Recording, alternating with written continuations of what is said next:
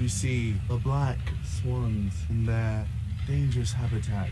The local white swan alone. It's quite evident he is, in fact, in the wrong neighborhood. Oh, oh, I think we better watch out. One of them has a gun.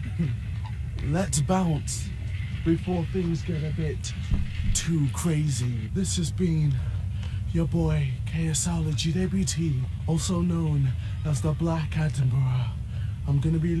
Oh, oh, oh my leg! Get up! We need to go! Oh, these black swans are dangerous!